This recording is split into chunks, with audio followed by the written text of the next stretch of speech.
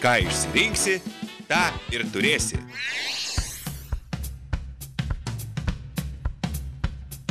Du 2008 ruduo, Klaipėda, Turgus.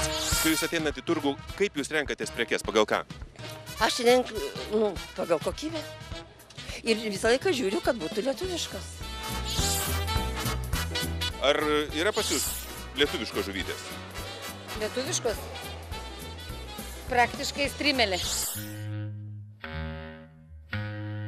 Čia norvegiška, čia kiniečių, čia kiniečių. Iš Kinijos žuvį veža. Šaldyta kaip atveš. Lietuviškas? Tai aišku, lietuviškus. Ar ekologiškas?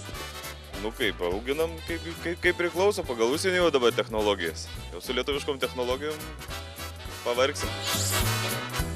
Turgus gyvas gyvenimo dėsnių pavyzdys. Nesidomėsi, nežinosi, ką renkiesi, vėliau nepasidžiaugsi nei sveikata, nei patiekalų skonių. Visiškai tas pats ir su rinkimais. Nežinosi už ką balsuoti ir vėl skūsės, kad į Seimą klaunui ir dikaduoniai sulindo, kad gyvenimą mums gadina. O gal aš klystu, gal žmonės jau apsisprendė už ką ir kodėl balsuos. Algi, ar žinai, kad bus rinkimai? Nežinau. Ar apsisprendėt už ką rinkimus balsuosit? Tiksliai dar nežinau, reikėtų pasiskaityti laikraščiuose tikriausiai. Už ką? Net neįsivaizduoju. Ar jau išsirinkot už ką balsuosit? Nu, dar negalvojom. Dar net negalvojom apie balsavimus. Ir turit slaptą kandidatą ar neturit? Turiu. Turiu. Neišduosit? Galiu išduoti. Žemaitis. Iki rinkimų laiko dar yra. Vieni jau apsisprendė, kiti dar galvoja, renkasi, už ką savo balsą spalio 12-ąją atiduos. Gal dar laikraščius pasiskaitys, gal per televizorių kalbančias galvas pažiūrės. Tačiau su tais rinkimais irgi visko būna. Va mūsų pažįstamas Algis sakė, kad kas daugiau duos, tam balsą ir parduos. Už kiek parduotum biuletenį? Dešimt, už dešimt litrų. Ant duonos. Deja, deja, pinigas visagalis. Pinigas ir į valdžią atveria kelią tokiems, kurie nesibodi balsus pirkti ir šiaip nebrangių makaronų rinkėjams prikabinti. Ar kur nors turguje pardavinėja makaronus?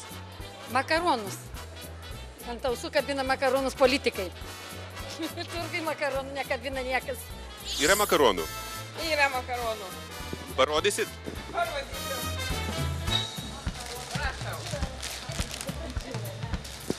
O sakykit, politinių turit?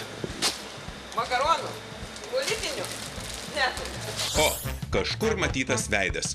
Gal gerbiamas aktorius pasidalys žiniomis apie politinių makaronų skonį? Ar pačiam teko ragauti politinių makaronų? Nu, man atrodo, nuo to nei vienas iš mūsų neapsaugotas. Tai čia tik pradžia, o kas dar bus prieš rinkimus pačius. Tai čia mes tai, tai, tai, tai valgysim ir per tuos makaronus mes valgysim ir per televiziją, ir per radiją, ir, ir žiniasklaida, viskas bus nupirkta. Ir manau, kad e, gausim šusnis visokiausių lankstinukų su pažadais, vienokiais, kitokiais, neįvykdomais, įvykdomais savo pašto dėžutėse. Taip kad e, mums paprasčiausiai reikės išmest, išmest, išmest daugiau šiukšlių iš namų, nes to šlamšto prisirinks turbūt per akis. Tai vis dėlto, kokio politiko norėtų žmonės? Ko norėtumėte Seime? Nu, žinokit, kad būtų žmogus normalus ar, kaip pasakyti, stengtųsi dėl kažką tai dėl žmonių, dėl gerovės visų, tai gal ir bet kas galėtų būti. Jau dainininkai, šokėjai jau taip nudainavo visą lietuvėlį ir nušok. Už ką balsuot? Už ekonomistą, už šokėją, už dainininką, už kolūkio pirmininką buvusį. Ką rinktumėtės? Ekonomistą tikriausiai. Aš manau, kad už ekonomistą. Jeigu jau kalbam rimtai, tai pasikalbėkim ir su rimtai žmonėmis, už kągi jie siūlytų balsuoti. Manau, kad Raimondas Palaitis yra tas žmogus, kuris gali tinkamai atstovauti Klaipėdos, Palangos ir Neringos miestų interesus Seime. Tai žmogus dirbęs ilgą laiką Palangos meru, žinantis labai gerai pajūrio specifiką. Tai žmogus turintis ekonomisto įsilavinimą, dirbęs ilgą laiką Seimo ekonomikos komitete. Tai žmogus, su kuriuo galima spręsti klausimus labai konkrečiai. Aš balsuočiau už Raimondą Palaitį. O kodėl verta balsuoti už Raimondą Palaitį? Na, tarkim, žmogus šitą darbą dirba jau 8 metus, žino kaip, kas, kur, ką. Be to aš jį pažįstu, tai yra mano draugas, aš pažįstu jo šeimą, jo vaikus, jo žmoną. Tai žmogus atėjęs į politiką ir tai daręs e, žingsnis po žingsnio. Manau, jis daug gero padaręs ir palangai, ir man atrodo ir savo apylinkiai, kur jis buvo išrinktas. Ir vėlgi aš labai, aišku, tai nuskambės keistai, bet aš e, labai rezervuotai žiūriu į tuos žmonės, kurie ateina į politiką vat, iš niekur. Kaip jie ten patenka. Aš labai rezervuotai žiūriu į savo kolegas, einančius į Seimą. Labai rezervuotai. Taip kad, na, baigim tuos, vėl mes prisiminėm, kad kaip ir tarybiniais laikais, kad valstybei gali vadovauti ir darbininkas, ir kolūkietė. Na, taip nėra. Čia turėtų būti žmogui duota. O man atrodo, Raimondui tai duota. Jūs pažįstat poną Raimondą Palaitį? Taip, pažįstam. E, ar jis nusipelno būti Seimo nariu? Daugiau tokių reikėtų, kaip jisai kad yra. Labai šaunus vyras. Jam ar vaikai, ar suaugę, kas bebūtų, jisai visiems ir padės, ir patars, jis visus mato. Tik aš neįsivaizduoju, kaip jis namuose parės turbūt jau su žmona pakalbėti nebėra kada jau tiek užsijėmęs. O sakykite jums, ką jis gero yra padaręs?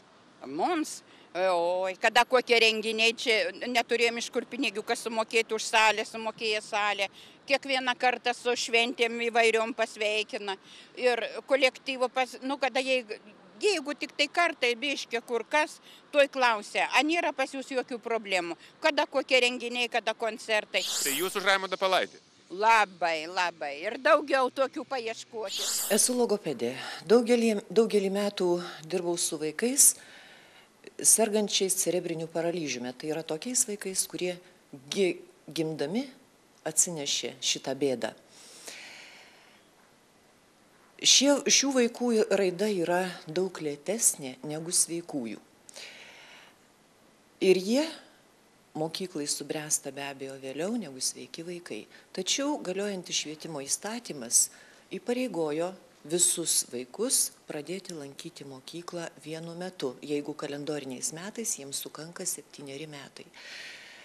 E, kadangi esu cerebrinio paralyžiaus asociacijos narė, mes su tėvais prirašėme šūsnį raštų įvairioms institucijoms. Ir iš visų gavome neigiamus atsakymus. Rankų nenuleidome ir kreipėmės į Seimo narį Raimundą Palaitį. Atvirai prisipažinsiu, jog nelabai tikėjau Seimo narių pažadais ir politiką laikau, ne, laikiau nešvarių reikalų ir laikau, tarp kitko, dar ir dabar laikau.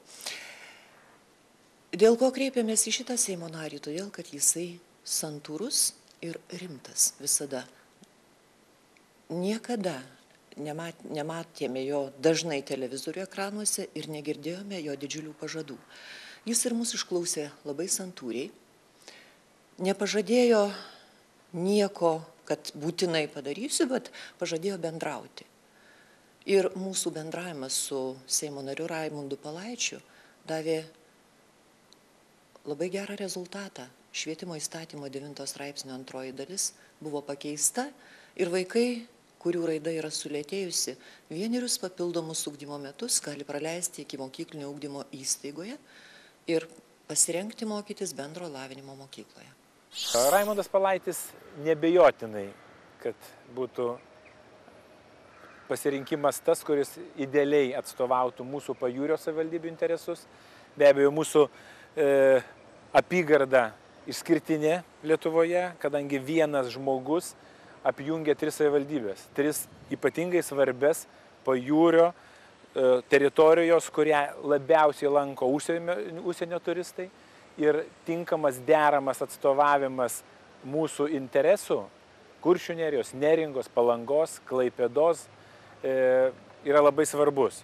Manau, kad e, Raimondas Palaitis turintis didelės patirties tiek e, vadovaujant ir tvarkant palangą, atstovaujant porą kadencijų e, ir neringos interesus e, Seime, yra tas pasirinkimas, ko mums šiandieną reikia. Ekonomistas, buvęs palangos meras, patikimas politikas. Štai jis, Raimondas Palaitis. Šiuo metu Lietuvoje iš tikrųjų reikalai nėra patys geriausi, nes kainų kilimas pastaruoju metu ypač ženklus, tai visiems kelia nerima. Būsimas šilumos kainų padidėjimas, pasaulinis naftos brangimas, dujų brangimas, visiems iš tikrųjų sukelia nerimą. Bet nenusiminkim, nes iš tikrųjų ekonomika vystosi ciklais, būna pagerėjimo ciklai, būna pablogėjimo ciklai. Prieš tai mes tris metus turėjom kilimo ciklą, dabar porą, trejata metų galim turėti šiek tiek sunkesnius laikus, bet nenusiminkim, iš tikrųjų ateis geresni laikai. O šnekant apie rinkimus, noriu jums paprašyti vieną dalyką. Jūs ateikite į rinkimus ir neleiskit, kad jums valdžią už jūs kažkas kitas išrinktų.